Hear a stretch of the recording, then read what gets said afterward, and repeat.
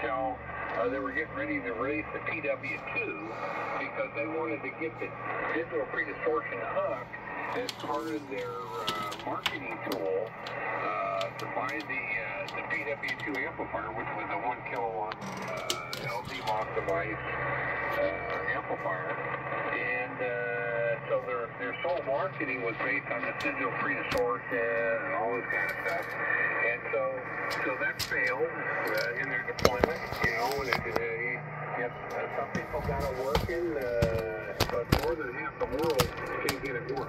Can't get it to work be- because they're losing uh, this other capability. And uh, anyway, so so anyway, to make a long story short, uh, I got fed up with it, and I'm gonna I'm leaning towards Flex Radio now. Wow. I don't blame you. Yeah, it's just the typical ICOM. No one, you know, uh, the, you know, you know, Ray Novak's people. They say, well, we don't have any say, or you know, we don't know anything that's going on. Uh, you know, they just tell us, and uh, they haven't told us anything, and so it's like uh, they're no help, no help whatsoever. In other words, ICOM customer service is uh, uh, is the worst. You go over to somebody like K, K, KM3KM uh, outside of, uh, and they're in Florida with the Mercury Lux. Man, those people will bend over backwards. And not only that, uh, when your radio craps out, if it does, very rare, very rare, uh, they pay for shipping both ways. Uh, who does that? KM3KM because they have excellent customer service. Yeah, and they make a good product and they stand behind the product. So, yeah. I know. That, that, that's really the problem. I don't know. I, I don't know that Yaesu's any better, to be honest with you.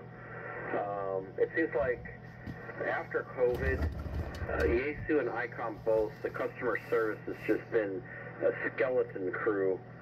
And it doesn't make any sense, you know, because uh, ICOM, you know, they're, selling so many radios. I mean, they're, they're extremely profitable. I, I just don't understand why they can't answer the damn phone. I mean, eh, did you?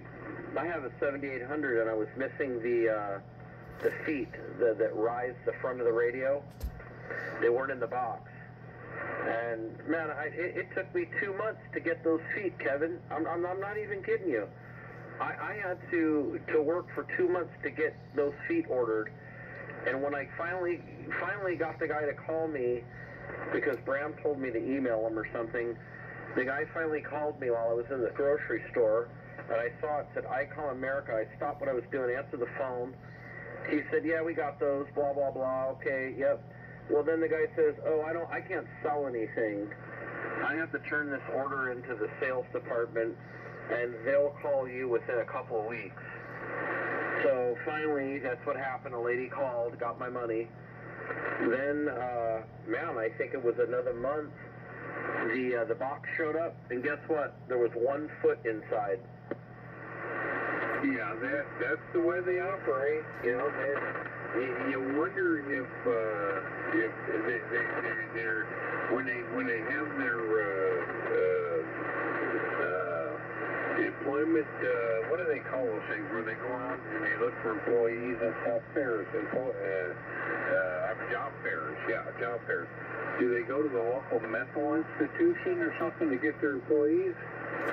Well, they gave me hell when I had a 7300 that the USB went out on. And it was all my fault no matter what, and blah, blah, blah. And the guy was just a complete prick on the phone. Yeah, that's the way they are. Yeah, it, it's it's all part of the you know not, it's not my fault, and I, I I've experienced that myself. I uh, you know so what you have to do is you have to kind of build a mechanism where you just eliminate them and uh, figure out you know workarounds and things like that and make it less painful. Did you ever have your display go out on yours? Oh yeah, I can tell you the whole the whole history. Matter of fact, I, I think it was the uh, one of the very few people that actually wrote a letter to the CEO of ICOM, and boy, did that stir up a lot of problems. And boy, I had uh, the ICOM fanboys uh, send me nasty emails uh, saying I don't understand the Japanese culture and uh, this, that, and the other. And but uh, let me tell you, from one uh, person who lives in Mahogany Road to another, he knew exactly what I was saying in the letter, the personal letter to him and his board. I wrote not only the uh, CEO, but to the entire board. And uh, we had a, a real nice high-level discussion about uh, how terrible it was, the way the folks underneath them uh, handling the situation, to include Ray Novak. Yeah, I mean, you pay $3,500 plus tax for a radio, and then the display goes out. I mean, like, what the hell?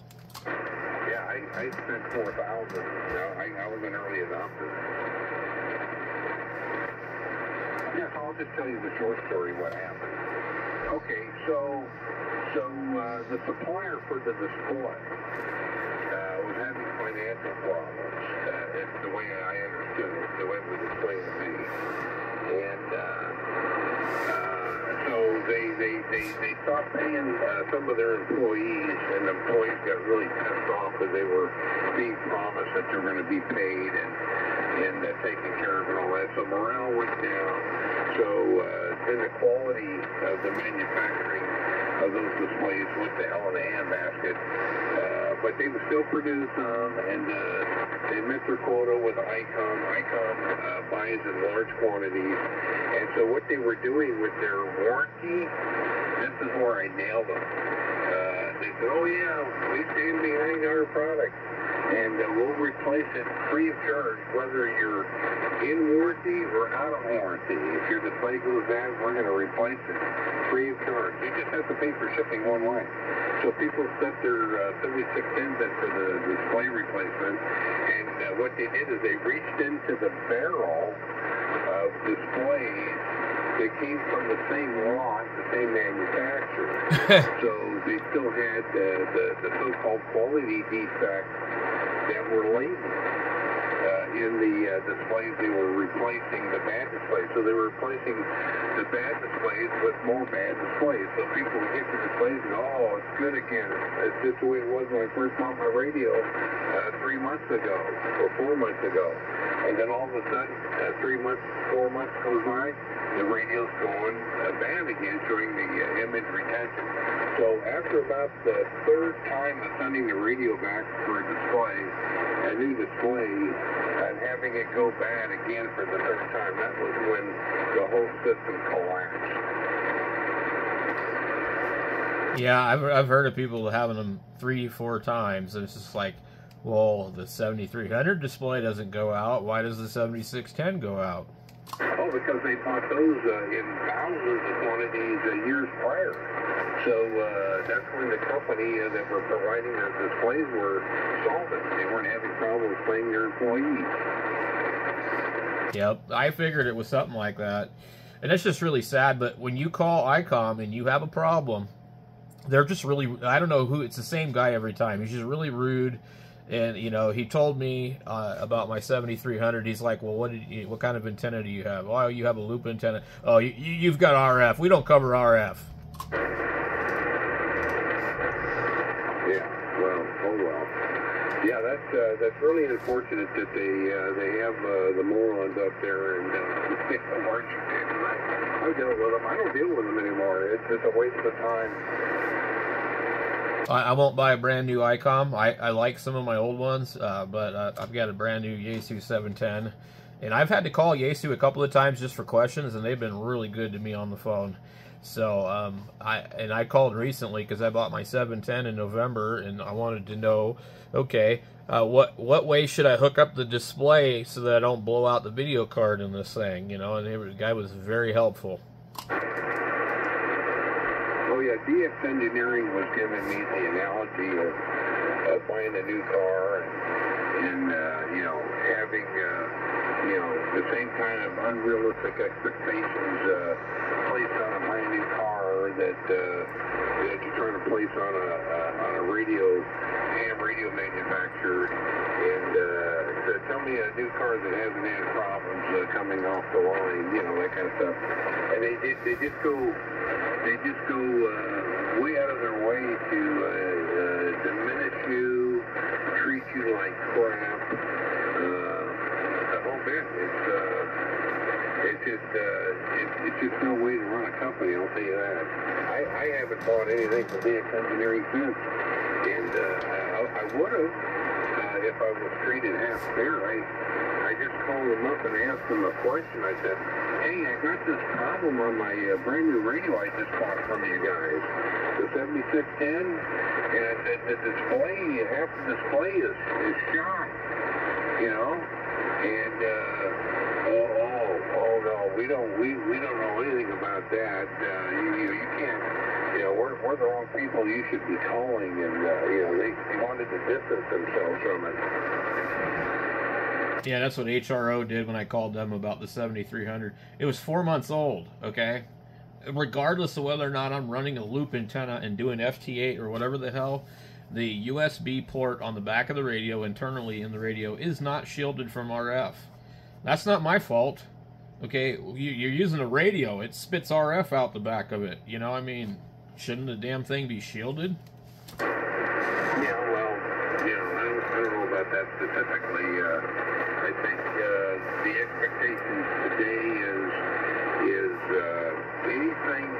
Additional that's needed to make your radio operate uh, like a radio should is uh, your responsibility. And that, that, that's an icon right here. I don't know about the other guys. Well, the guy wanted to argue with me, and he said, well, because of the type of antenna that you have, I guarantee you have RF in your shack, and that's what ruined your radio. We don't cover RF damage, but if you want to send it in, we'll we'll look at it and we'll we'll try and fix it, and we'll charge you for the money. I said, dude, the thing's four months old. I didn't do anything wrong to it. You know? Uh, oh no no, we we we can't cover that. I said, you got to be kidding me. I said, I'm never going to buy anything from you again. Yeah, uh, that's typical. That's typical. Sounds like I talked to the same guy he um, I've, I've talked to him a couple of times and it was like the same treatment. Now i have a 756 pro over here. It had a broken knob on it uh, pbt control or something like that. It's a dual pot. I needed to order that thing. You know they charged me $25 shipping with no tracking for this stupid thing and the thing was like $4 so and then like clark's experience it took me like two months and they email you and then you have to give them this credit card through the email, and you don't even know if like you've ordered it or not, you know, and then and then uh, then eventually you get a confirmation email. Yeah, I remember ordering a part for uh, my Icom radio. It took four months to get it. It was took a long time. I've got a 746 Pro, a 756 Pro, and then I, I bought the 751A recently, but like I got rid of the, the I have had two 7300s. I got rid of them, and you know I'm done. I, I, I like that radio. I like the 7610, but like you know I just I don't trust anything that they make, and I, I know they're not going to take care of me if there's a problem. Well, that's the thing. Yeah, customer service is uh, critically important, and uh, difference between a um, educated consumer versus a fanboy, you know, fanboy. That, I think that's the difference. Clark had the finals go out on his little Yaesu, and they uh, had that thing done in a couple of weeks and hardly cha charged him anything. It was like $130 round trip.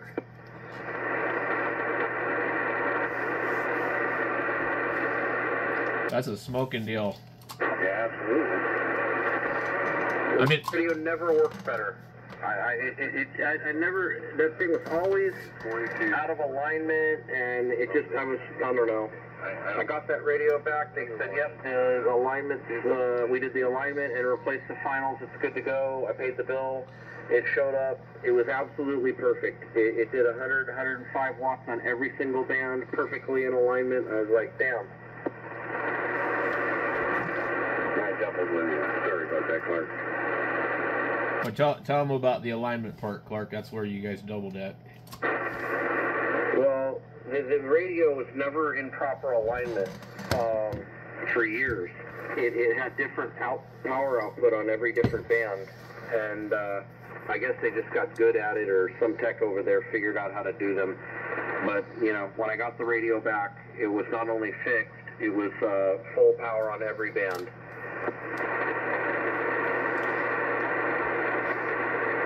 It felt like getting a, a D model Bram and just sending it to him, uh, just just because. Yeah, I, I paid a hundred dollars just just to line the thing.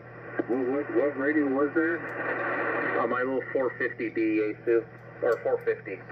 Oh, okay, yeah, because I know when the Icom was having that problem, uh, it was the uh, the drive level was uh, uh, was not was not set uh, at the proper level. Oh, I know. This, this thing, I, I, I attempted to align it myself, um, but it's it's a convoluted procedure. You have to have a 16 ohm dummy load, not 50, for whatever reason, 16 ohm. And you have to go into the menu, and it's got reverse ALC. Uh, I, it's it's really weird. It's got gain, PX gain for every band, and then reverse ALC. And if you don't set that right, what happens is the the time to full power is is slow. So like if you key it up, it's like 20 watts, but by the time you get to like the third word, it's 50 watts, and then maybe like the fourth word that you speak, it's 100 watts. It's not instant. And AM, it was useless. The the AM would backswing. Um, I got the radio back. I put it on the bench, plugged it into my uh, my 1200 Super S station monitor. It was exactly 100 watts every single band, 100, 105 watts, and AM worked perfectly. All of a sudden, AM works on it. It was 25 watts carrier, 100 PEP. Sounded beautiful. I thought, what the hell? Hey guys, KK7 TV. Hey, Randy. Howdy. Howdy doody. What's going on, Randy? Nothing, just uh, doing homework, sitting here listening to belly aching and uh, just thinking. Well, we should just send the radio to you. We wouldn't have had no problem. No, I don't do them anymore. I'm sorry. I'm gonna go get a hold of that guy. Say, hey man, uh, I need that 7300 back. Randy's gonna take care of it. You know, they were never able uh, to. Uh, um, uh, Scott Malcolm was never able to find the, the parts to fix that USB because I guess ICOM changed it a bunch of times. Oh, that's too bad. My friend Jim ended up with the radio and he was using it for AM and then he cooked the finals on it too. How could he cook the finals on AM because it's only pushing 25 watts or something like that? I, I'm not really sure. He he lived over there down there um, in uh, uh, Buckeye, and he was uh, using some weird antenna in the backyard, you know, and stuff like that. And that's the only thing I can think of is maybe something was up with the antenna. Yeah, the thing's designed, if it sees anything above 3.1, it's going to start holding back the drive. So, yeah, then something else. He might, he might have dropped it or it was in the sunlight too long. Well, I guess Scott Malcolm told him that the Achilles heel on the 7300 is that it can get RF into it either through the microphone connector, the power cord, or any other thing that plugs into the back, and it can get into the ALC circuit and cause it to run away, and it will uh, cause problems. Everybody was end feds in a bunch of common mode. Right, exactly, and that's what he had over there, uh, Clark. He had this experimental uh, antenna like that. Yeah, yeah. You know, you get a cheap radio like that, they get a cheap antenna, they get it 20 feet in the air. I hear them on the bands. I got my 7300 and end fed, and I don't know what's going on. When I talk on the hands mic, uh, it burns my lip. Yeah, that, that could be a problem. Yeah, so that thing has got a lot of protection built in, so I'm, I'm really surprised. Uh, uh, must have really some bad stuff getting in that radio. Apparently, uh, they've they've repaired quite a few of them. Um, usually, it's guys doing FT8 on them. Yeah, okay. The uh, it's not like the 7610 with the temperature. You know, it, it monitors temperature and the voltage and everything. Well, there is a screen on the 7300 that will give you that information. Um, if you want to get rid of the waterfall, it'll replace it, and you can see that information. I, I don't know though uh, if it's really similar to what's on the 7610. Yeah, it's, it's certainly not the same uh, architecture, but similar uh, software firmware. But uh, I will say that uh, uh, the uh, the whole the whole thing I, is designed where the fan uh, is uh, told by the processor when things are getting hot, you change the speed in the fan and so on and so forth. And I have never ever gotten this thing. Uh, uh, to go above 70, uh, 70 degrees centigrade. Uh, not at all. I um, also read something somewhere the output transistor on the ICOM is like a like a Darlington inside of it. You know, there's like multiple ones inside of the uh, enclosure, so it looks like a single unit, but there's more than one in it. Yeah, that's right. Yeah, you're absolutely right. But I guess uh, Malcolm had uh, repaired many of them, and I know a guy, uh, well, knew a guy who knew a guy up in Show Low or something like that. He kept doing FT8 on this thing, and he was on his third set of finals or whatever, or you know, third final. Well, what, was he running at uh, full, full power? Didn't he just, you know, I would think that he'd want to go back 75%, you know, at least. So the first one was 100 watts. The second one was well, I'll just run it at 50, and then uh, he uh, second time same thing, 50 watts. Well, that that that that there's something else. I don't know. I don't. I, I find that hard to believe. At 50 watts, so that that's really uh, hard to believe. But so I guess if the RF gets in there, it makes the ALC run away, and the um, if you're not watching the radio, it starts to put out excessive amount of power. When you set up for FT8, you're not supposed to have any ALC. So I don't. I don't understand why ALC is a factor. Um, I I guess it's the like the or the bias of the the transistor in the in the the circuit gets affected by RF.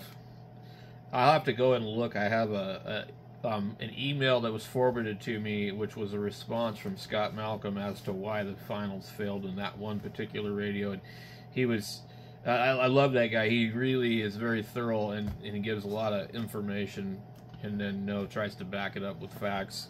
Yeah, that sounds like a real important guy to have around because uh, I'm at a loss. Unfortunately, he retired and says I'm not going to work on anything anymore. So uh, there's a that was one of the, the big ICOM guys that worked at ICOM and you know um, and and continued to do it after working there. But he's he's done. He won't he won't take work anymore. Is that the guy back in uh, Michigan? No, he's in like uh, he's in Washington, kind of outside of uh, Vancouver. Uh, like I think Toledo or something. You know, it's it's a it's up near Mount Rainier. Oh, okay. Well, congratulations to his retirement then. Well, he retired, I think, from ICOM and then went to go fix radios for another 20 years after that. Wow. I, I'm sure Randy probably knows more about it than I do, actually. I didn't even think of that. Hey, would you do me a favor? I, I don't know. I don't really do favors, but sure. For you, I, I can probably make an exception. All right, turn that processor down and when you crunch that microphone, it, it's just gratingly terrible tonight. I, I don't have a processor. Well, it's got grating sound when you unkey. I don't know. Probably my microphone. It's an old radio. Put some uh, three-in-one oil on that sucker. Yeah, something. You say you're not running processing? Nope, don't have one. Is, is that an HC3 cartridge? I'm not on an ICOM. No, no, the cartridge from Heil. Yeah, I'm, I'm not on an ICOM. I'm not I'm not using a Heil microphone. Oh, okay. I'm on an FT102. I never remembered the mic sounding that terrible. Yeah, I didn't even notice it until you mentioned it. Oh, it's terrible. The grating sound that when he unkeys, it goes crack. Uh, no big deal. Well, there's nothing I can do about it. It's a hand mic that came with the radio. I don't have anything else to run with it. I can run one of these other Yaesu microphones, and they don't really sound that good. Yeah, that's that's the way it sounds like a normal uh, hand mic. Matter of fact, this radio has a hand mic. I've never had it plugged in. I, I don't even know if it works. Came with the radio.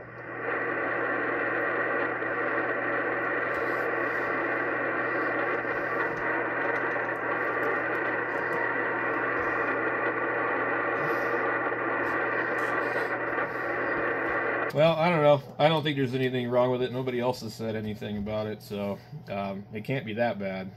I'll turn the mic gain down a little bit, see if that uh, cleans it up, because this radio does run a little hot, and maybe I'm just talking too close to it. But you know, I don't know. I've never heard anybody else say anything about it, Randy. No worries. I just asked you to do me a favor. That's all. You know me. I don't care what anybody else says. I mean, if I had the processor on, I, I think this does have a processor. It would sound pretty weird. You could switch the box, you know, and not even squeeze the mic.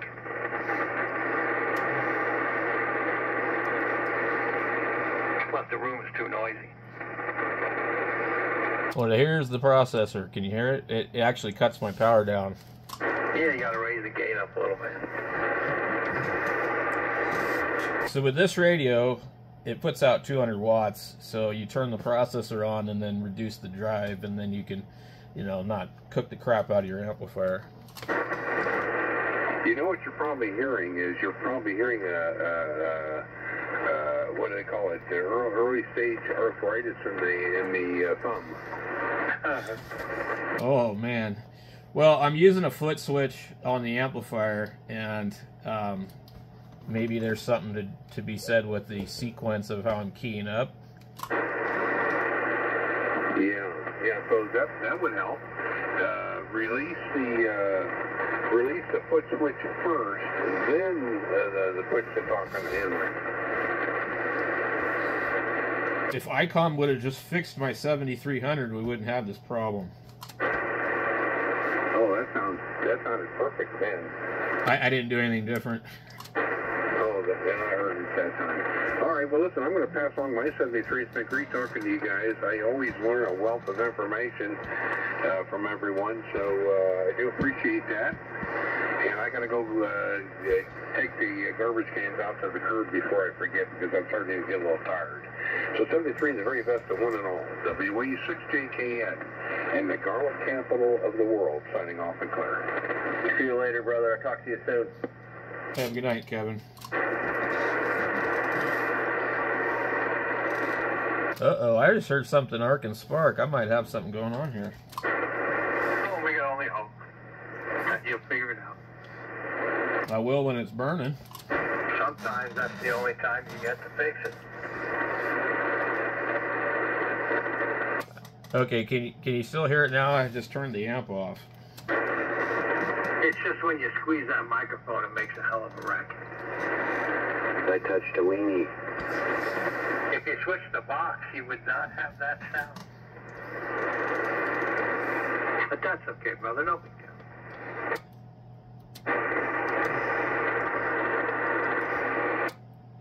I touched a weenie.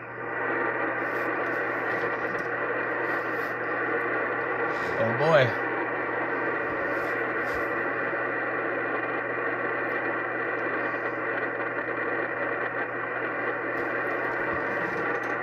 Yeah, I I can't get the box to work, Randy. It doesn't want to work on. This is a 1982 radio.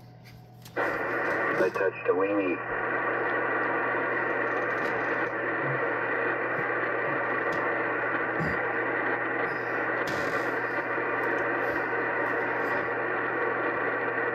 The microphone might, might not be hot until you squeeze it closed, if you know what I mean. Talk about expressing my daughter's anal gland?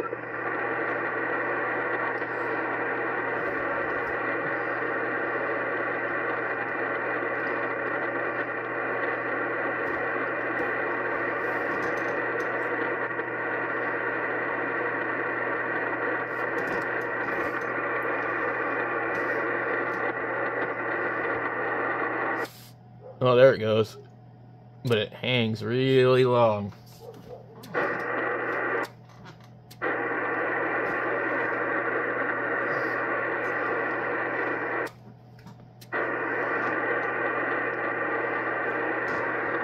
Come begin. It's fine.